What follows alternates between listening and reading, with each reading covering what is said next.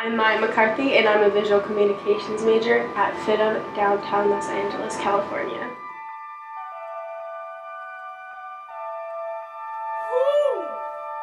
Hmm.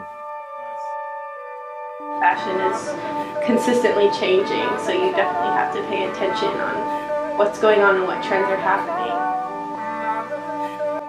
Growing up, I've always been interested in fashion and I never knew what I wanted to do exactly in it because I've always thought that maybe it was just fashion design only and that's the only positions that were offered when you wanted to work in the industry. There's a lot more offered in the industry. What made me want to go into visual communications was the fact that I knew the basics of fashion and they have really good instincts, but I wanted to learn more. So what inspires me is a lot of atmosphere, such as coffee shops, other designers, and through travel.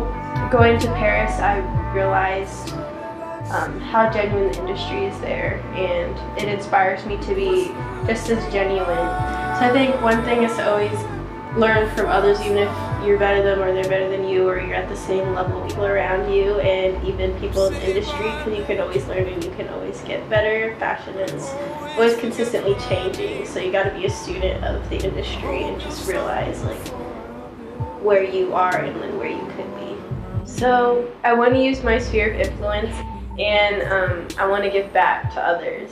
I have many ideas in how i can help people and always give back. And being able to do that, I feel like I'd have to achieve what I want to achieve in order to financially support people and just give back the way I want to give back to people.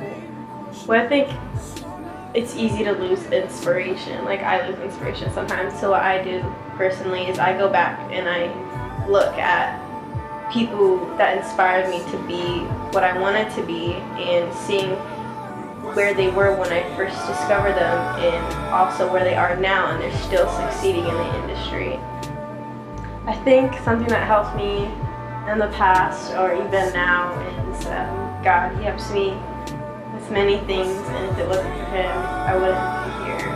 And um, I think it's just like the faith I have in the trust I have in Him because growing up I've moved all over the place and the experience I have with travel has definitely helped me with where I am today as well because being able being in the industry you have to be able to transition and go certain places and be able to sacrifice a lot of things.